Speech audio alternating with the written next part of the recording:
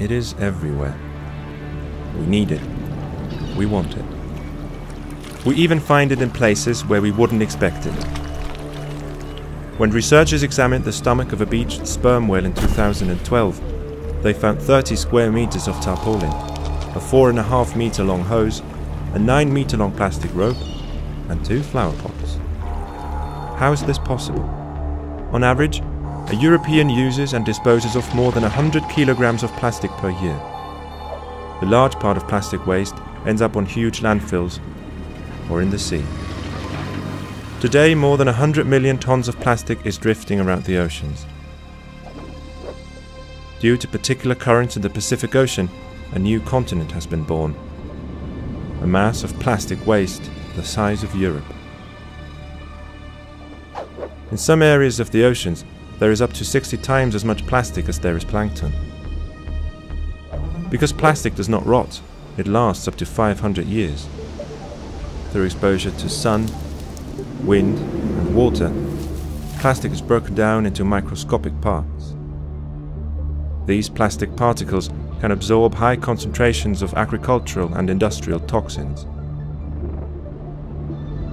Many animals mistake the plastic for plankton and eat their fill. Every year, more than 100,000 turtles, marine mammals, and seabirds die a slow and painful death because they starve with a full stomach or because their intestines rupture.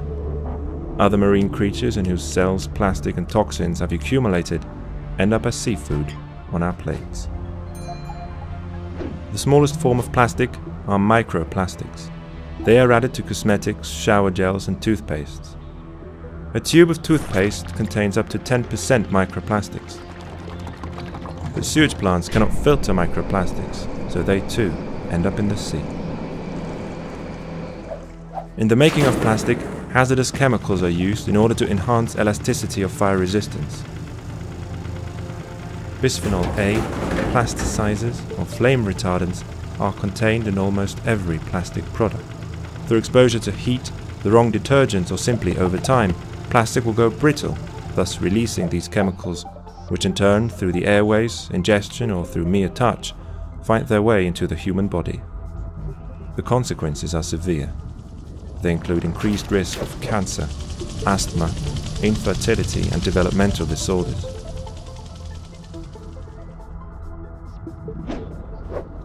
The plastic industry tries to cover up any scandals and runs a gigantic lobbying campaign in order to prevent stricter laws or inquiries.